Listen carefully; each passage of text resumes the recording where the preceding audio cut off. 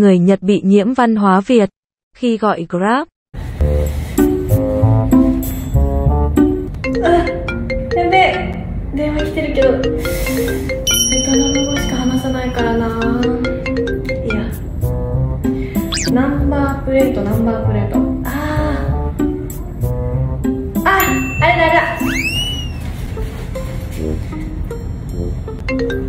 やめ電話来た。うん。alo ạ. À, em là người nước ngoài nên không biết tiếng việt. À à ok ok ok ok.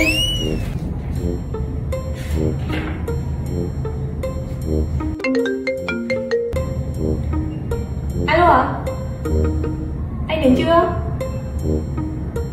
Vâng vâng vâng vâng. Đợi em một chút. Em đang ra rồi. Em đang ra rồi